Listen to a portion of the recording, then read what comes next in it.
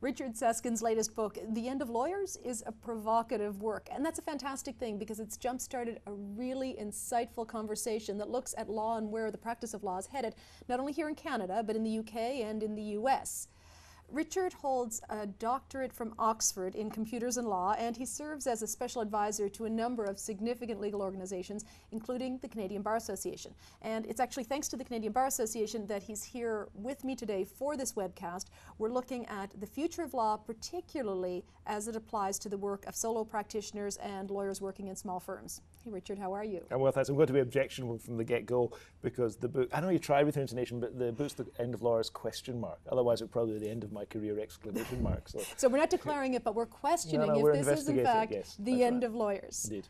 Well, there's an analogy in your book that made me think a little bit about the fact that I'm in the market for a new pair of shoes. I'm always in the market for a new pair of shoes. And there was a time not so long ago that if I wanted a pair of shoes, I would go to a shoemaker who would craft something just for my feet, a mm. highly indiv individualized and specific piece of work. But that's gone by the wayside. My shoes are mass produced now, no matter how lovely they are is there, there really, you're seeing a parallel between this idea and legal work? Yeah, say rather than mass production, mass customization is one of the phrases that's often used.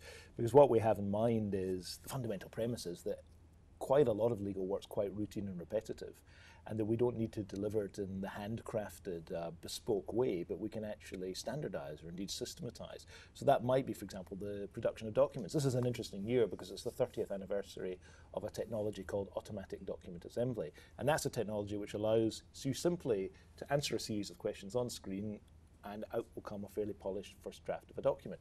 That technology has been around for 30 years now, hasn't been embraced by the profession, but is technically possible.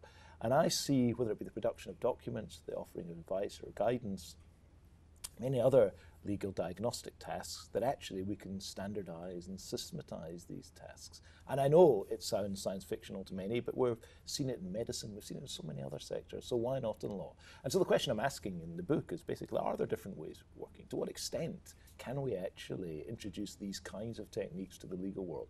Why should we think as lawyers we're immune from technology which seems to be affecting all other sectors? And that's really, that's really what I I want to say to the profession that we should at least keep an open mind and think, might we work differently? So is this what you're getting at when you use the, the phrase disruptive legal technologies? Disruptive, there's a distinction in the, it actually comes from a, um, a very well-known book called The Innovator's Dilemma by a, a Harvard business professor called Clayton Christensen. And in his book he distinguishes between disruptive and sustaining technologies. Uh, sustaining technology is a technology that supports the way a business works or perhaps the way a, a market or an industry operates. Whereas a disruptive technology is a technology that comes along and fundamentally challenges the way a business works or a, or a market functions. So for example, for Kodak, tech, uh, the, the camera people, uh, digital technology was fundamentally disruptive. They were their whole commitment and expertise was in the whole area of film-based uh, camera technology. But eventually, they moved as some, or indeed most uh, market leaders have to, to adopt the disruptive technology. And the, the Christensen question is, or the observation he makes, is that in some sectors, market leaders fail to recognize until it's too late that the disruption that's going on in their market. They'll say of an innovation, "Oh, it doesn't apply to us it, it's trivializing the area my clients don't really want it. It's not going to work in our market. Like the talkies after years of silent film, right? In, indeed, who, yes. Who wants that? Who on earth wants to hear actors talk?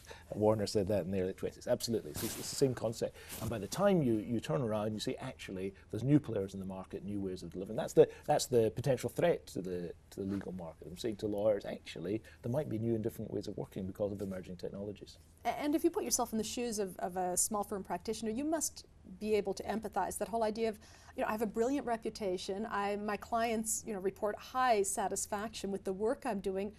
Why in the heck would I tinker with this?